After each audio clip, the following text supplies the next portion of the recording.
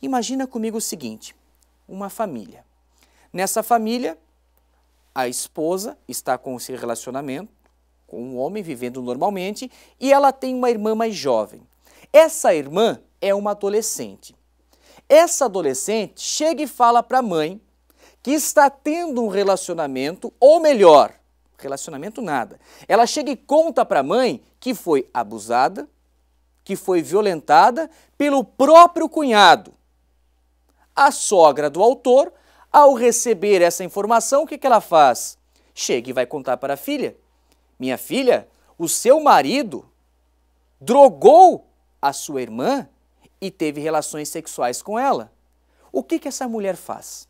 Ela acredita no que a própria mãe está contando, ela acredita no que a irmã mais nova está contando para ela, ou ela continua confiando e acreditando no marido e que tudo isso é uma invenção da cabeça da irmã e que não aconteceu? É para isso que existe a Polícia Civil. O caso chega à Delegacia de Proteção à Criança, Mulher, ao Idoso e ao Adolescente, lá de São José, a DPCAME. A DPCAME, com seus profissionais, com seus psicólogos, com os exames periciais, chama a vítima, a adolescente. A adolescente, na presença da mãe, vai até a Delegacia de Polícia e conta o que aconteceu.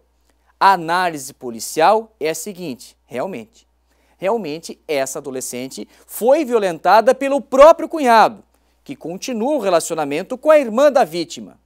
E a irmã? A irmã continua acreditando em quem? No seu companheiro.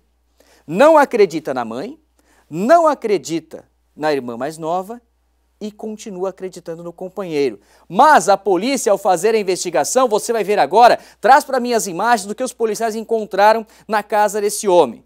Vejam só o arsenal que foi apreendido pela DPCAM de São José. Aqui nós temos três pistolas, mais três revólveres e além dessas seis armas curtas, pistolas e revólveres e uma quantidade expressiva em munição, olha aqui o armamento que a polícia encontra.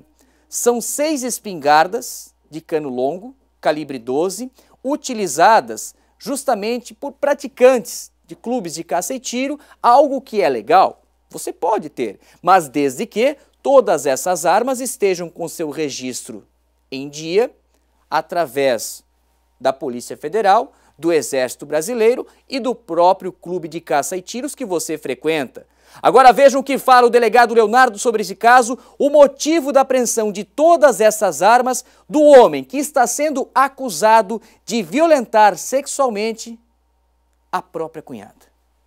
Foi instaurado inquérito policial no final do ano, ali em dezembro, né, para apurar o suposto estupro de vulnerável aí de, uma, de uma menina de 13 anos.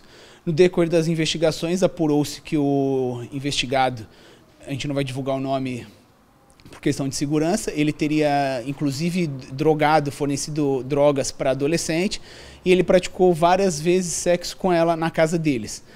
É, Verificou-se ali através de relatório psicológico que a criança foi atendida por uma psicóloga policial, que os estupros foram recorrentes. A própria família ali, a mãe dela denunciou da vítima, né?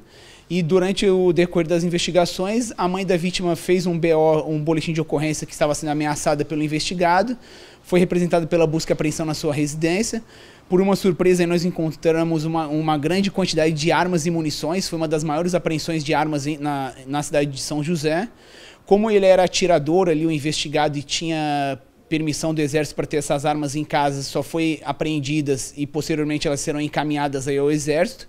Foi comunicada a Polícia Federal e o exército sobre a apreensão das armas.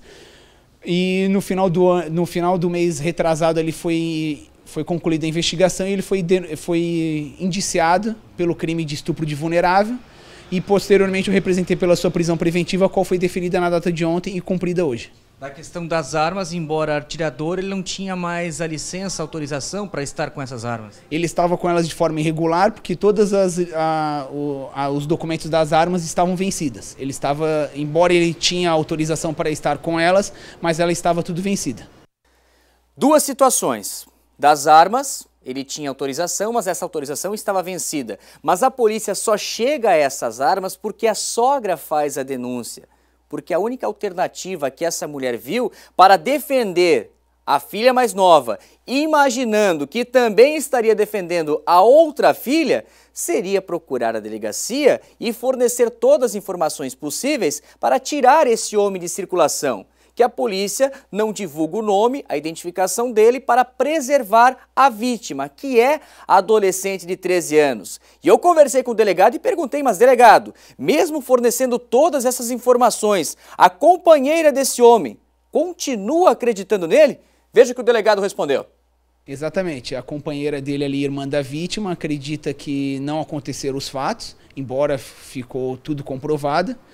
E, e ainda chegou a comentar que foi a própria irmã que teria dado em cima do seu do autor aí.